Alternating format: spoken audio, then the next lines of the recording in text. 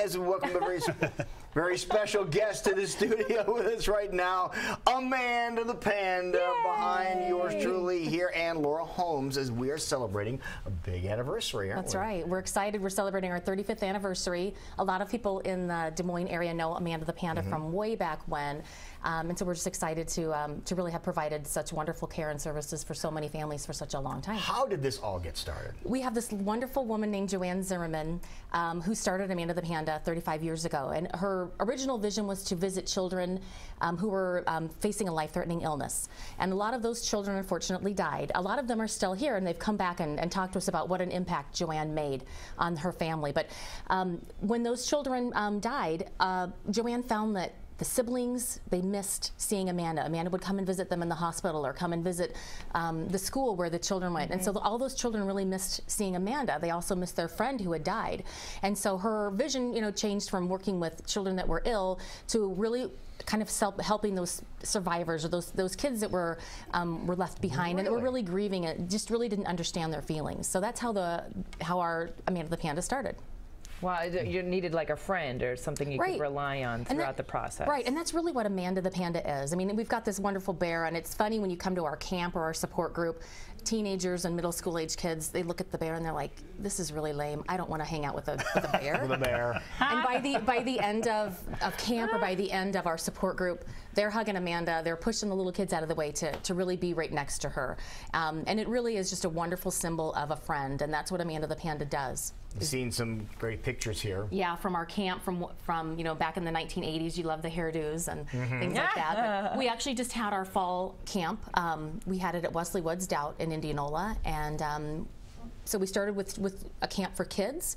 Um, and in 1989, we added in a camp for adults because um, obviously um, everyone grieves. Um, our specialty is, is children that are grieving the death of a loved one, but the adults, we find that, um, you know, when you have something really traumatic happen in your life, you put on that brave face and you still have to get up every day and go to work and, you know, get the kids ready for school, and you kind of forget that, wow, I'm really sad and I'm really grieving. And so by having um, these two camps, and actually then we have our support groups as well, having these two different things, you know, one for adults and one for kids, mm -hmm. it really allows um, adults especially to really truly grieve. Parents don't want to cry in front of their kids because they're sad that their dad is gone or that they've lost a sibling. Right. Parents have to be those strong ones. And you know, the same thing as for kids. They don't want to cry in front of their mom and make mom feel sad or have dad feel bad. So it's really, really a great opportunity for families to you know, do something together, mm -hmm. but they're separate. So does that make sense? Mm -hmm. The kids are in their own groups together with, with other kids that have experienced a loss. Interesting concept. I Haven't thought mm -hmm. about like So how are we yeah. celebrating or honoring this anniversary reunion? Well, so on, on October 11th, out at Raccoon River Park in West Des Moines, um, we're going to have kind of a big celebration. We have all kinds of wonderful things, face painters, um, spin art, you know, kind of fun things for our kids because that's one thing we find, especially when you're grieving, you don't want to be sad all the time. We like right. to have a lot of fun at Camp Amanda and our support groups. Um, we're going to have a beautiful dove release that's really going to be symbolic um, for so many of our families that have experienced a death. Um, if you've never seen anything like that, it's it's truly beautiful. Um, one of the other things we're going to have is a love wall. So what we do at our camps, um, I don't know if you can see this very well, but after our camp experience, Hold it up for the camera. A little bit higher like that. go, perfect. After our camp experience, people can come over and write a special special message to their loved one that has passed away or a special message to the, the group that they've met. And some of these things just, you kind of read them and you think, wow, we didn't realize what an impact we had on some of our young people that have, um, have come to camp and support group. So on the 11th, we're going to have a giant love wall. So we're inviting anyone who's been involved in Amanda the Panda, volunteers, supporters, um, campers, um, support group participants, anyone to please come out and sign our giant love wall.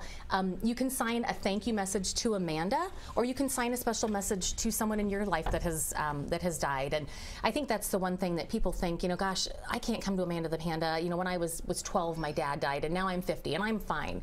And we find that people you can come to Camp Amanda or you can come to our support group well after someone has passed away in your life and still really experience this wonderful friendship of people that you know can support each other mm -hmm. through a really traumatic time.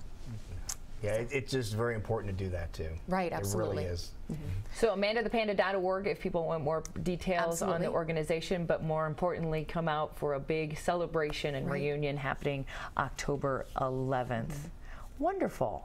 Thank you very much Yeah, being thank here. you so much for having us, and Amanda's excited to be here. She doesn't like to get up too early. High but- five, Amanda. We There you don't go. blame her, but she's always happy. We It's like almost time to hibernate, I think. Yeah. Warm it up for him. For I will Jason do it. Barkin. Okay, warm it.